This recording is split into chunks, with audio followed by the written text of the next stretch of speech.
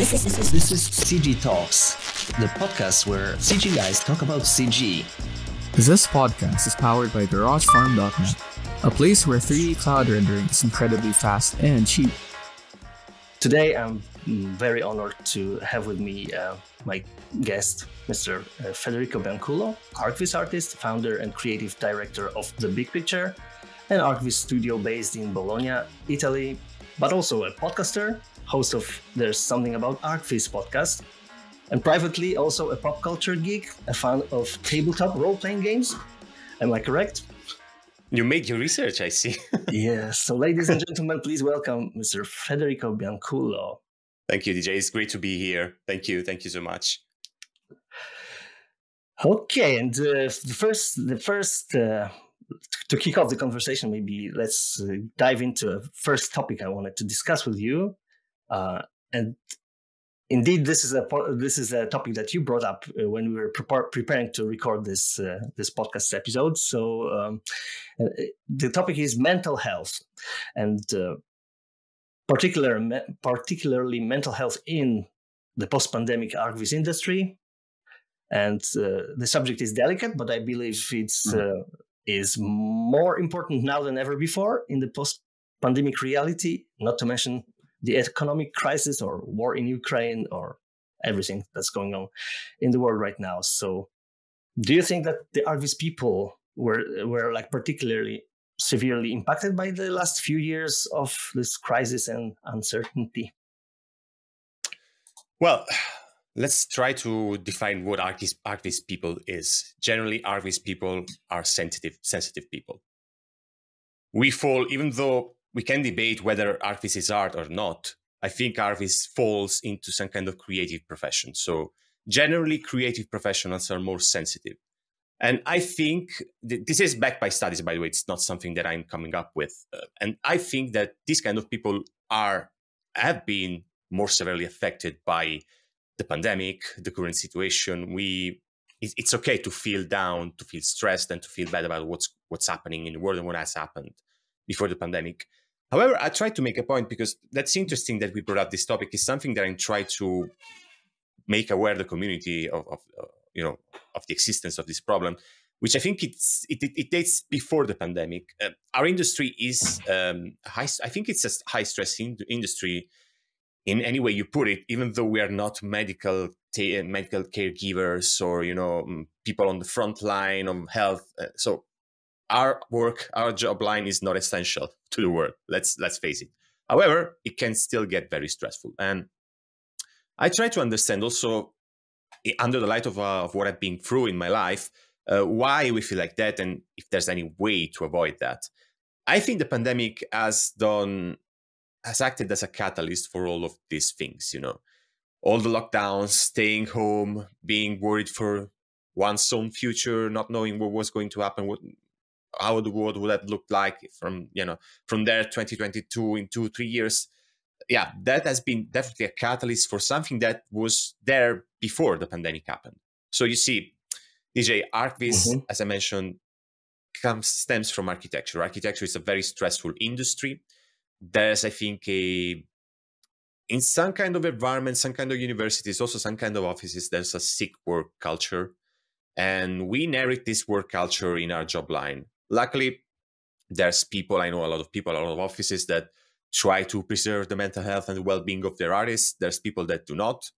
We have to, you know, let, let's face the truth. There's people in the industry that do not care about the well-being of their artists. I, I've seen and heard horror stories, even from big firms, big names. Won't mention any name, of course, but I know there's, there's situations going on in the industry, and I think this has going this has to change even under the light of what's happening in the world you know all this great resignation stuff i probably you've overheard of people resigning their jobs mm-hmm. especially yes. in the us uh, i think ArchViz is going there eventually people are going to be fed up of this way of handling deadlines of handling projects that everything has to be done at the last minute without a clear organization uh, eventually going to get there this industry, if it's if you don't act quickly about this issue, it's going to chew people and spit them up.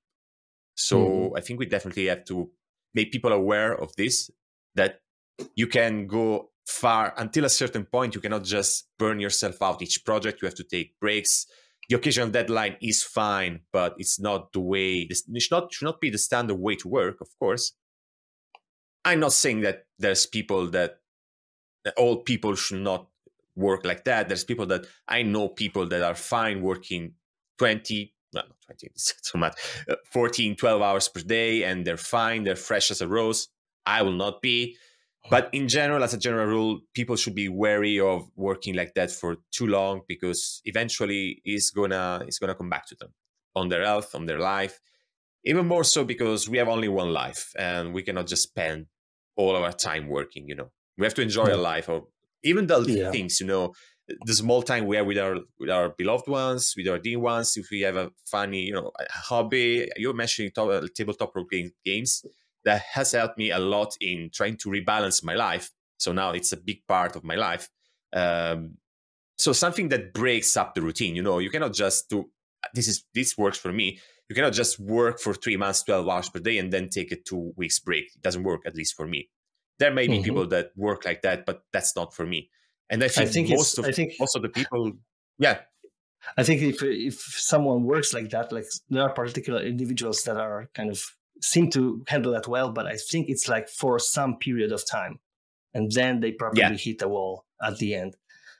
Like I think I think about I don't know Kanye West, like people with I think he even mm. had like uh, kind of like a bipolar disease or so or so, something like that. Yeah, so that's that's kind of like working that's way that's way more serious.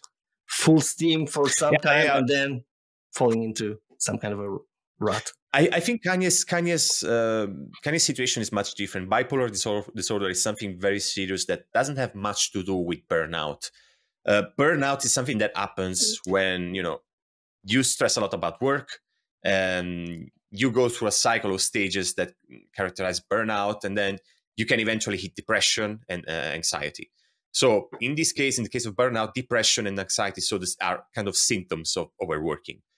Kanye's Kanye West's case is is much more severe. He, he was like that since you know he has been like that since I don't know how much how long, but bipolar disease is something that is more serious and completely detached. So that's important mm-hmm. for me to say because we have yeah. to make you know a clear distinction between mental illnesses and conditions. Um, and I saw this kind of confusion even in our industry when there were attempts of trying to you know mm, investigate the conditions the condition the mental health condition of our industry i saw some confusion about you know disorders and conditions so i tried it i, I tried to to act i wanted to intervene to make this clarification because i think that's important not to con- confuse mental illnesses with conditions that lead, lead to mental illnesses which is the burnout mm-hmm. i know it sounds a bit complicated but i think it's important also to discuss this with some kind of expert you know mm-hmm.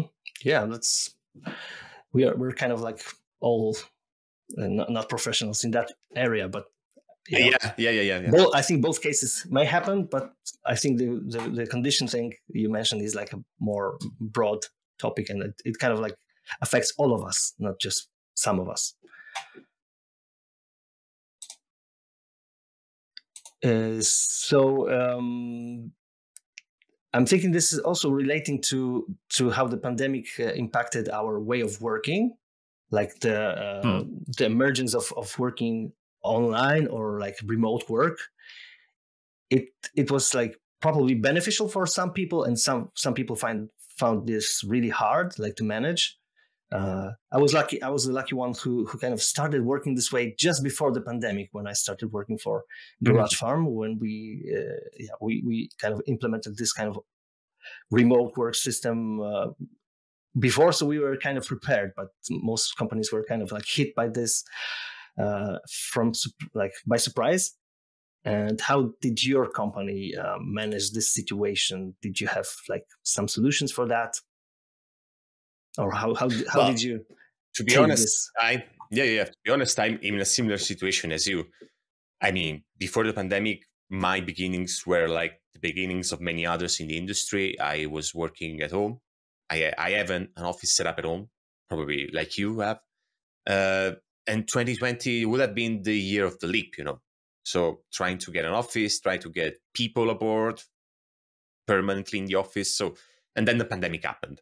So I had to rethink my plans and everything that I did in the past. So the work that I did to work from home it was 2017, 18, 19, so three years of working from home, they stayed there. So the way that I worked uh, hasn't changed. Um, these days, I'm actually doing less images, but I'm doing more online content geared toward geared toward ArchViz and education concerning ArchViz. So um, I changed my plans in time.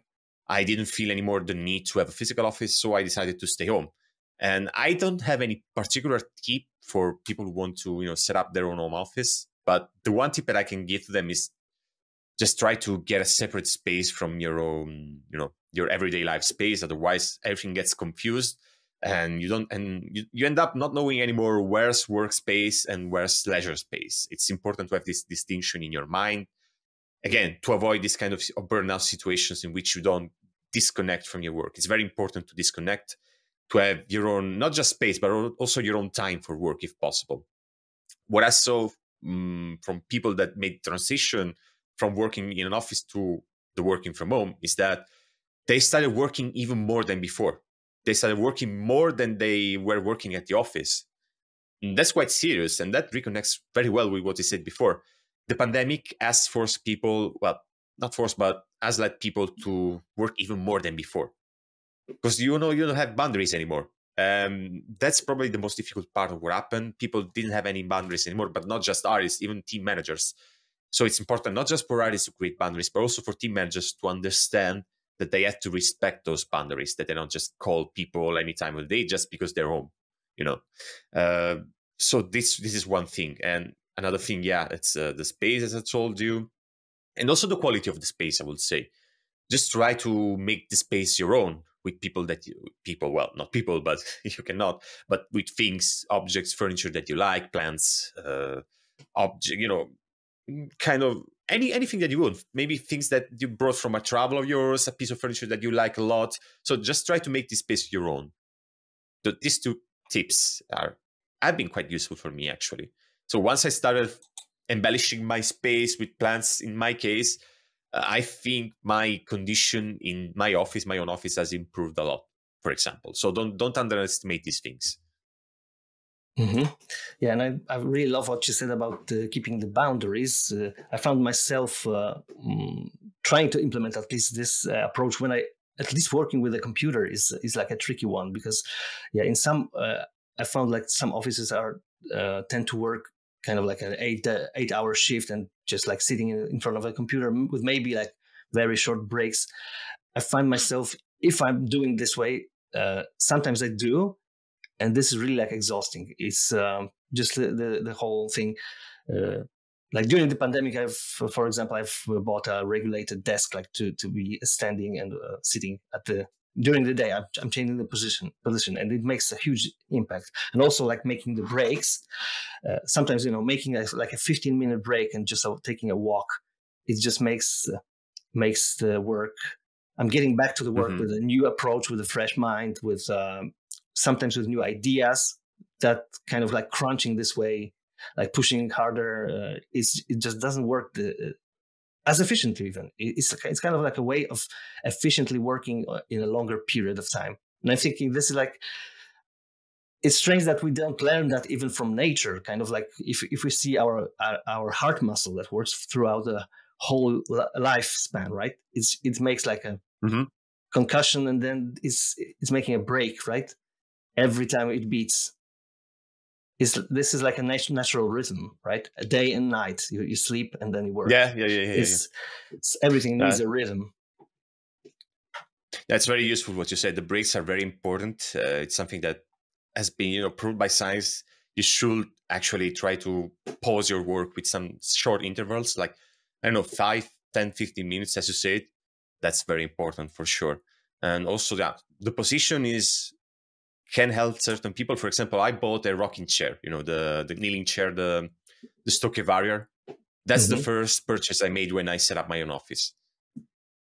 Also, you know, for postural reasons. Uh, now I'm not sitting on that chair because I want to stay still, but when I work, I use that one so I can, you know, change my posture. I, I can stay active. I don't, I don't, I don't freeze in one in one position, and it's also good for your for your back, your your spine, your yeah. back muscles, and whatsoever so that's that's a purchase to you know to consider not a rocking chair a kneeling chair is not for everyone but uh, it can give a lot of health benefits. It's not yeah. it's not good for very tall people, for example. Yeah, exactly. I, have seen uh, this is this kind of falls in the I, the whole um, topic of ergonomics of working. And right now we're kind of yeah, like yeah, doing yeah. doing something that's very unnatural for a human being.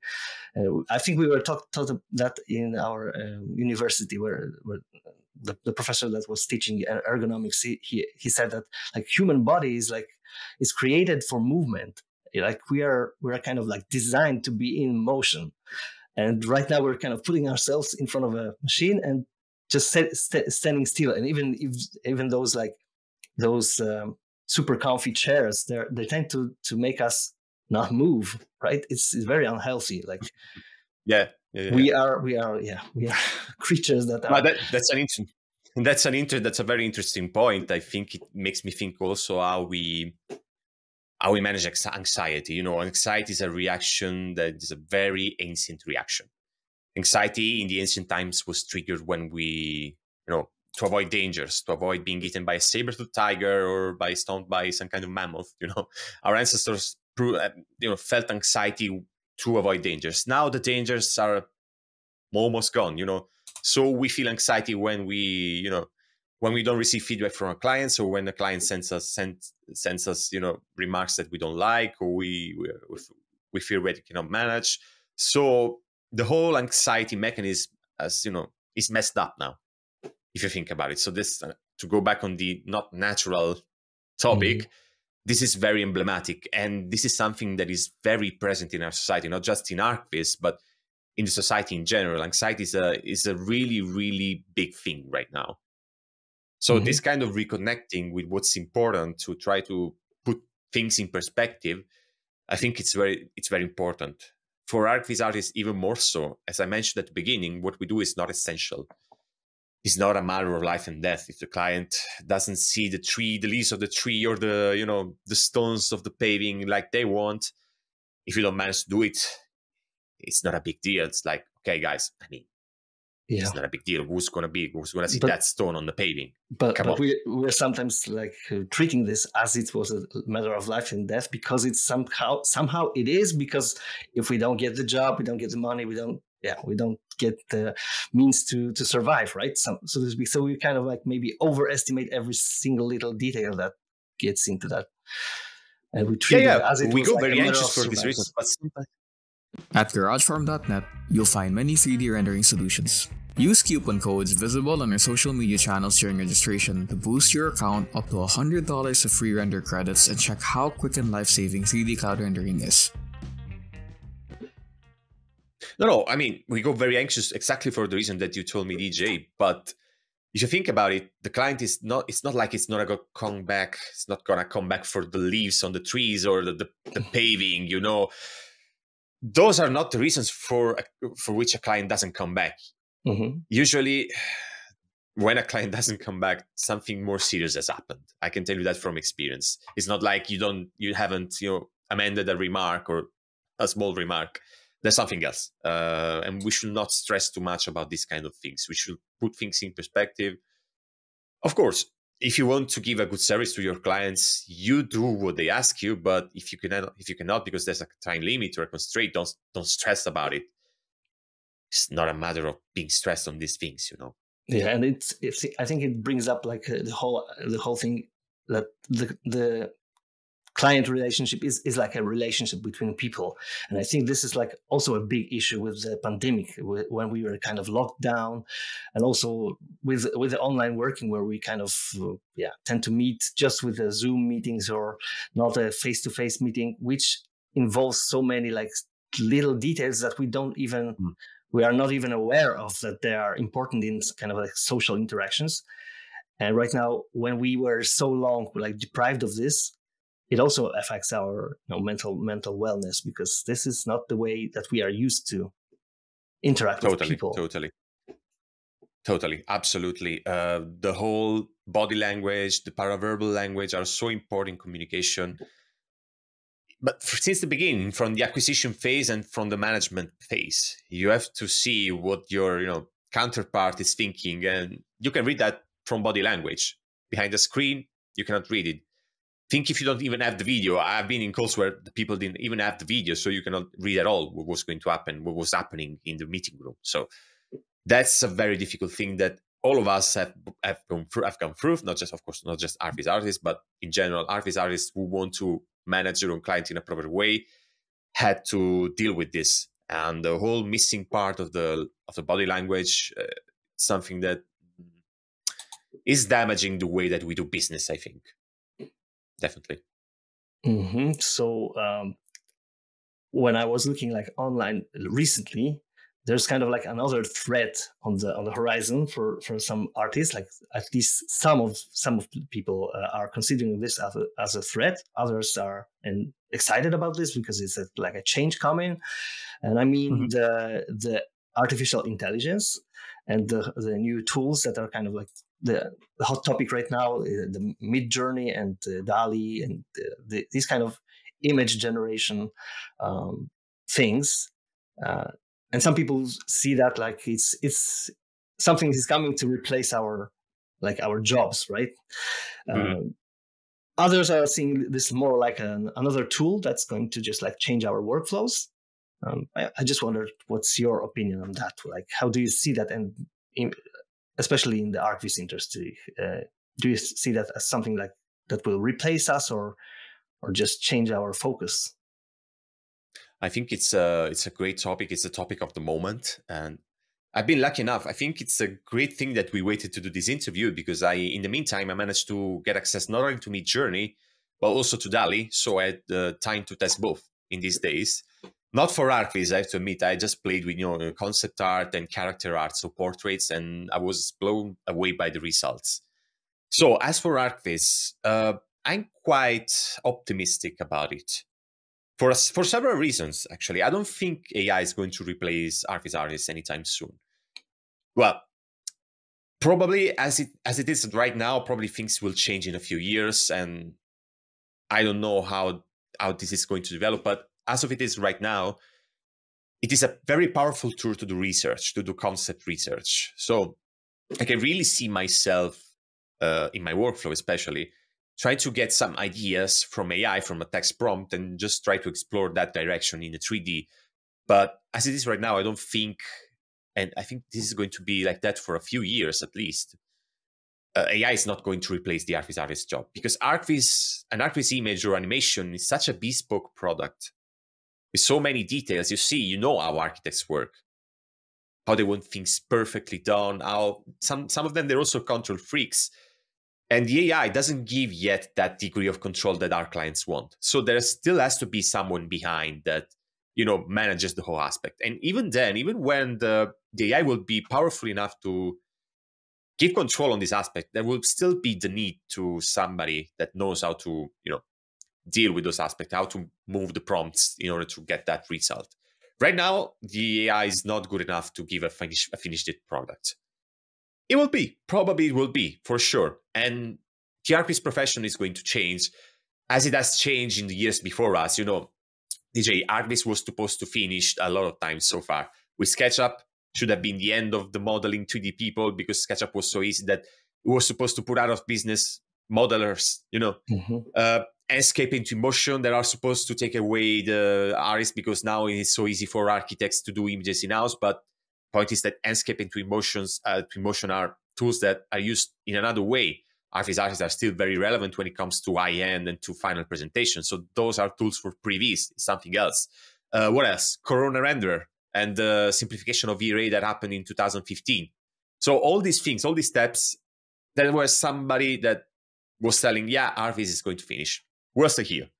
So mm-hmm. I think mm-hmm. this is still the case. Yeah. We're still we're going to still be here. We're going to still be relevant. Probably things will change in the way we work in our workflow. I definitely see AI taking place a, a huge part in our workflow. But honestly, ArchViz is not going anywhere. I think ArchViz artists are not going anywhere. So I think we should really calm down, test the tools, understand how we can implement it in our workflow, and try to make the best out of what, what is offered to us.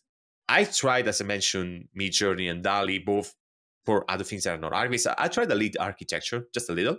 Mm-hmm. Um, and I can confirm you, it's a great tool for concepting to to get ideas for a mood, for lighting, uh, to get quick iterations. I think it's going to, you know, I think it's going to enhance a lot the quality of the work, and the quality of the work was already very high. Uh, there's a lot of firms that do a great job doing images nowadays, to the point that I think it doesn't make sense anymore to compete on the quality of the images that we do. Unless, of course, unless you're one of those firms like Mir, for example. Of course, I always do the example of Mir because they were the first the first ones to do images in a certain way and they they keep innovating nowadays so they're not they still renew their work every day so if you're not that kind of firm you cannot compete on the quality of your service you have to compete on something else whether it's the way that you relate with your client it's the way that you you know you may add supplemental services to your core offer but i think it doesn't make sense anymore to compete on the quality of your of your images. But probably that's that's I'm going a bit off topic on this. Uh, the point is that AI probably is going to play a role in a workflow. Um, probably more radical of us could say, no, I don't want to use AI because I don't want to feed my data. I don't I don't want to help to improve the AI. We could make another point for that. And another mm-hmm. really interesting point that I that I well, there's two interesting points that I want to touch on AI. Uh, one is the point of copyright who is the owner of the images who is the author of the images which are two different things and the other thing is the the art question now i well i, I have the opinion that ArchViz is not art it's my own personal opinion doesn't mean that it's right many people can say that ArchViz is a form of art for me it is not because it's a service based industry but in general can the ai images be considered art so that's a really interesting topic. And the other interesting thing is the copyright, as I was mentioning.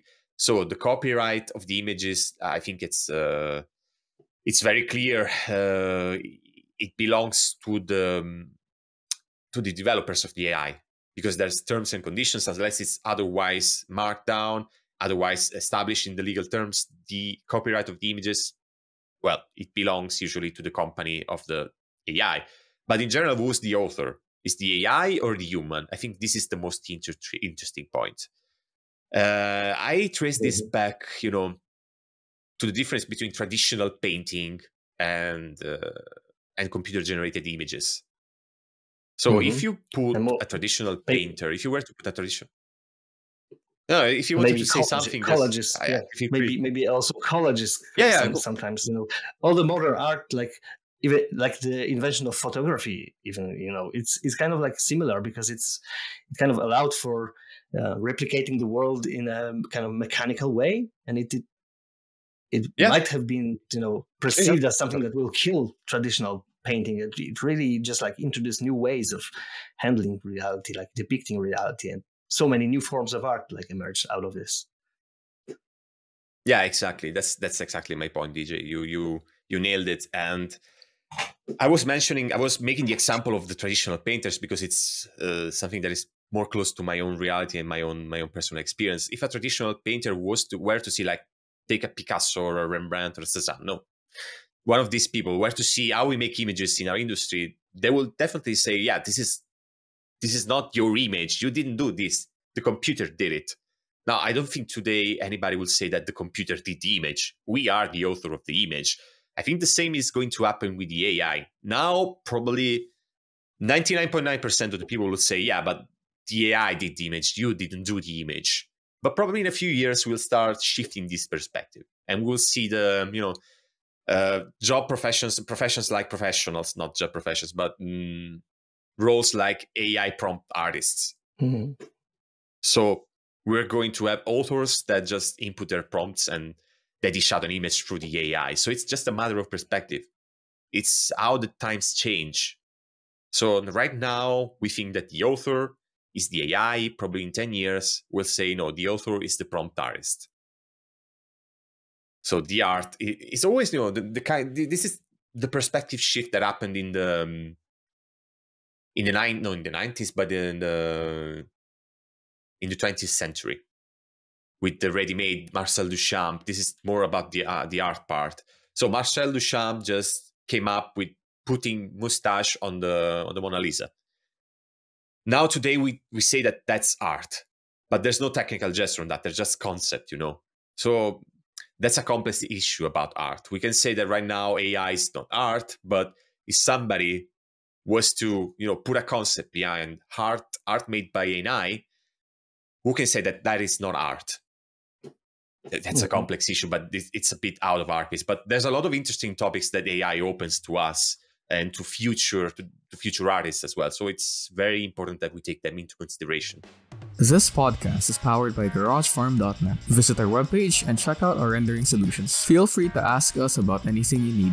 Our service provides 24/7 tech support. Yeah, I really like what you said about uh, ArchViz not being art because it's a service-based uh, uh, thing, and also so the question of being an author. Like we might also think that we are not the author because the author of you know of the architecture is the architect, and there, there are a lot of like ingredients in that and i think it's not like like that new in art because if you look back for example in in the painting history there there were like painters like Rubens, which uh, you know they, they had kind of like a whole factory of, of paintings, and there are there were people yeah, yeah, painting, yeah. painting for him, and he was just like a director. Right now, it's even in the movies, right? You you consider the director like the main man of like running the the whole thing, but it's like a team of people. So it's kind kind of comes down to like this being a society thing. Like i think we are a little bit obsessed by individualism right now that, that someone like is the author of the work. And mm. in some way art is like a community thing. It's also like a uh, like uh, our our common good right? And the, the i think that that kind of maybe falls into the mental health issue that we're talking about. It's it's all about mm, our lot, community yeah. as well right? It's not just like about a, a lot a lot yes. ourselves as individuals but how we how we like manage our social interactions as well. Definitely it's uh art the art thing well the perception of ourselves as artists is something that is very impactful in mental health. I just want to just make a step back and clarify what i said before yeah i don't think art is art but it's an industry it's a profession that uses the tools that come from art so in order to craft a good image you have to follow the rules of art so, in a certain sense, we use the tools that we use in art to create our work. But it's not an expression, you know, it's, I don't think it's an artistic expression. Of course, some pieces of art can be artistic expression in certain cases, in some elite cases, but probably most of the art piece we do is not art. It's not intended as art, it's intended as a marketing product. So and for the art part yes that's uh, that's very important the the point that you made we perceive ourselves as artists but just because well mostly because the industry calls us artists there's also a linguistical aspect in this. Now you, you may were mentioning the cinema and i mentioned the video game industry. I want to talk about that. There's a lot of artists. There's the cinematic artists concept artists environment artists.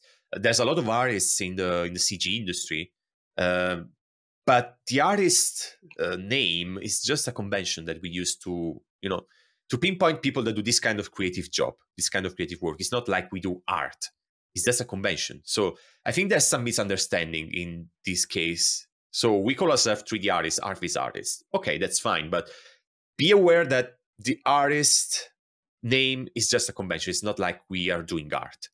So uh, I think we have to clarify this. And this is where many people fall, where they have the, the artist syndrome, you know. Some of them, yeah, some people in the industry, they're definitely artists. They, but these people are the people that went out the traditional art biz and they started doing their own things, NFTs, personal projects, uh, side activities. Those people, I'm very happy to call them artists because they also, you know, art is also very subjective art is not something that we recognize, but other people recognize as art. The, again, the, the Duchamp thing. Somebody decided that Duchamp's work was art, but somebody else did. Somebody else uh, recognize that as art and establish that Duchamp's work is art. We cannot say ourselves that our work is art, you know. So it's a it's a really huge topic, and this is I was mentioning before the the you were mentioning actually before the mental health issues that this is where many people in our industry fall. We have the artist complex, and we're very fragile and prone to confrontation. But we should not be. Uh, this is a bit more outside the art, you know, the art discourse, but we should not be because everybody all of us come from different experiences. We have different, you know, mm, life choices. We made different life choices. Uh, this is something that has took me a long time to accept that my work was not on par with other people. But after all, I was just my own. I was just a one, a one person doing images for architecture. I will not, I, I cannot reach the quality levels of a team working closely knitted, knitted together every day and doing great stuff. Unless I start working for a team regularly, probably possibly, possibly in person, not remotely, I don't think I will reach some kind of quality level. Even though personally, I think my work is good enough to be client, good client work, to be uh, really useful to my clients. And it's a, it's good work. Probably it's not top tier work like those high end firms, but I think it's good enough to be marketable, honestly. And I'm go- I'm good with that because this is my choice. This is my life choices. It's, it's a product of my life choices.